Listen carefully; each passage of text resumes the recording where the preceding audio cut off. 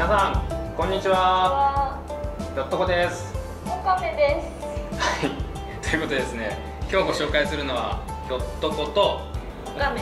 お面です。これなんかお祭りとかでよく見ますよね。そうですね。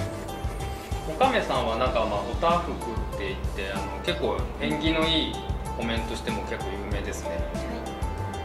なんかひょうきんな顔してますけど。ちょっとこひょっとこはなんかこれを頭につけてなんかね土壌すくみたいなの踊ってる、あの絵があるんですけどん見ましたか皆さん。